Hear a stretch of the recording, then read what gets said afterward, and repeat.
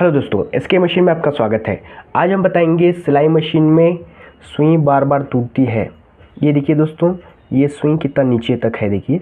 ऐसा नीचे तक सुई रहा तो अंदर जाके बॉबिन किस को और शटल को लग के सुई तोड़ देती है।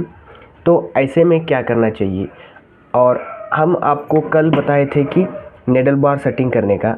ये नेडल बार कैसे सेट करना है? और कैसे टाइट करना है ये बताए थे। और आज इस नेडल बार को कैसे शटल में, इस शटल में कैसे सेट करना है और कैसे इसको कहाँ तक सेट करना है, ये सब कुछ इस डिटेल इस वीडियो में बताएँगे। चलिए दोस्तों, देखते रहिए। सबसे पहले हम ये सुई को आज कहाँ तक रखना है, ये बताएँगे। ये देखिए दोस्तों, सबसे पहले तो ये सुई यहाँ तक नहीं रहना चाहिए। ये बहुत ज़्यादा नीचे आ गया है, देखिए।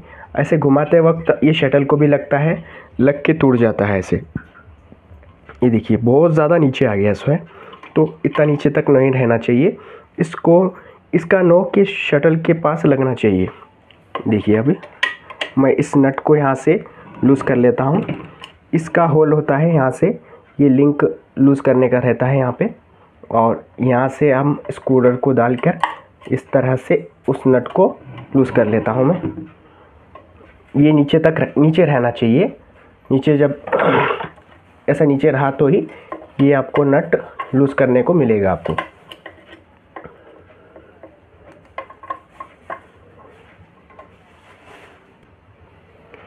ये देखिए, अब ये लूज़ हो गया इसमें देखिए। अब इसको, ये देखिए, अब ये लूज़ हो गया है।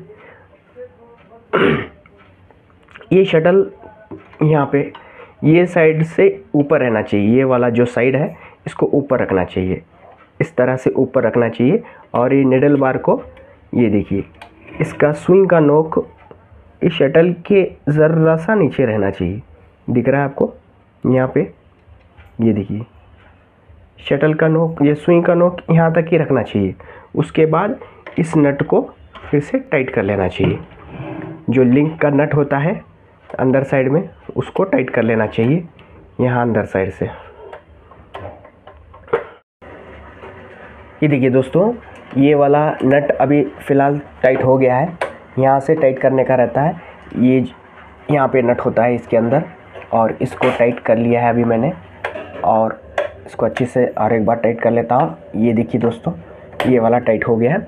और ये वाला टाइट हो गया बाद, अब शटल का शटल के अंदर स्विंग का नोक कहाँ पे होना चाहिए? ये देखिए। ये देखिए। ये देखिए दोस्तों। ये दिख रहा है देखिए। स्विंग का नोक यहाँ पे दिख रहा है देखिए। इतना सा रहना चाहिए नीचे तक। और ज़्यादा नीचे रहा तो आपके शटल में शटल के ऊपर लगता है और नहीं तो उसके बॉबिन केस को लग के स्विंग बार बार टूटती है। इसीलिए इस तरह से इस नेडल बार को सेट कर लेना चाहिए और ज़्यादा नीचे भी नहीं होना चाहिए और ज़्यादा ऊपर भी नहीं होना चाहिए। चलिए दोस्तों, हमारा वीडियो आपको अच्छा लगा है तो लाइक और सब्सक्राइब ज़रूर करें और